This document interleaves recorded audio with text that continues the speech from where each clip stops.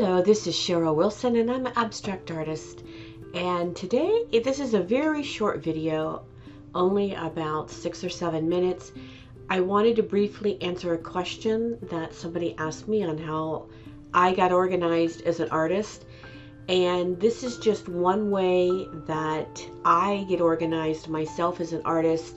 I have fun with it, it's easy, and in the video you'll see some of the benefits of why I do my organization this way.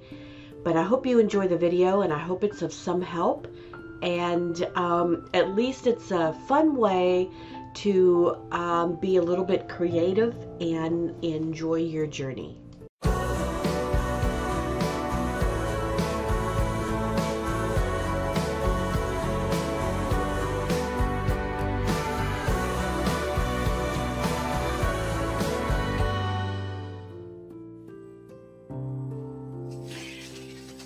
I wanted to show you. It's it's um.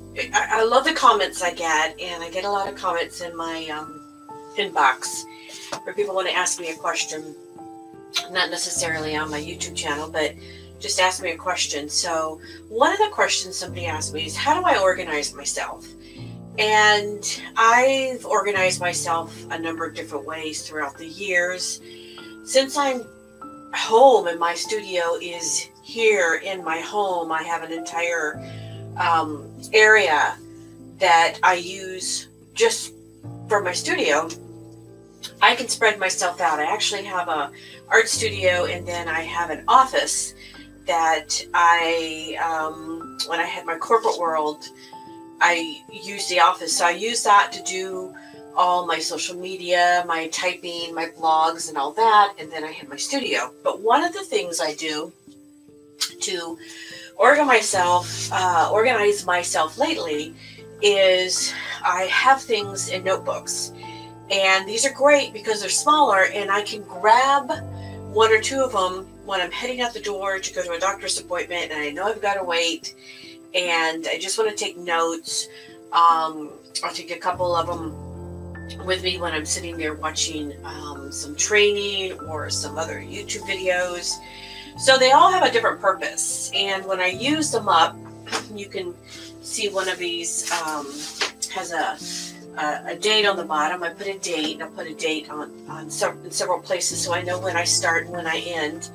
Um, but I love this. Um, and what I do is I start with just a regular notebook and I got these on Amazon. This happens to be a wide rule. I get like six of them. They're like a dollar a piece. And um, I love notebooks. Now I do have journals. Journaling for my art is different. This is doing um, my organization.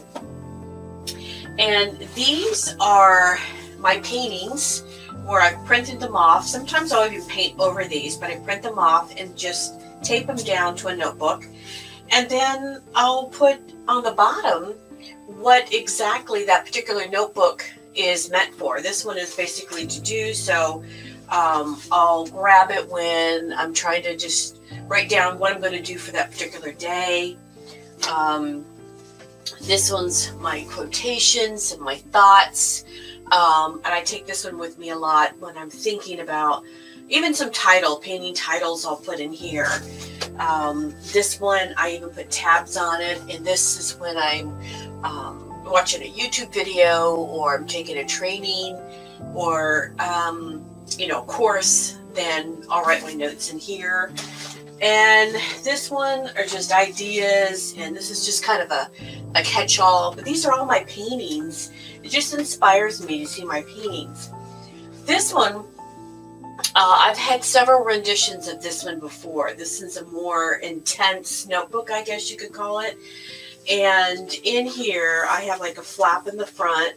Um, but I do like um, like daily activities. I have um, some sheets that I have recorded, and I mean this is even personal. Um, you know, things that um, I've I say um a lot, don't I?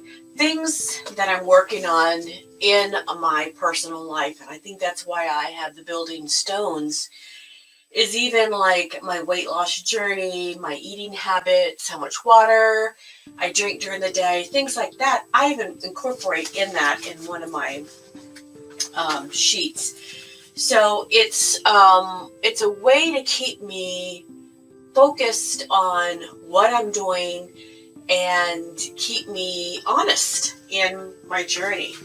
So and and it's it's fun. So I just have these. They're thin, so I just have these on a shelf. Um, I've had different notebook scenarios in the past, but I find this one is is one of the ones I love the best, and I'll probably keep this for a while. Um, these black canvases, I'm going to be doing a video next for YouTube, but I thought I'd share this with you in case it's something that you might want to incorporate into your practice. And I was asked by, actually, I was asked by mail um, how I organize myself. So I hope this, I hope this helps um, him and helps some of the others that might be looking for a way to organize their art journey.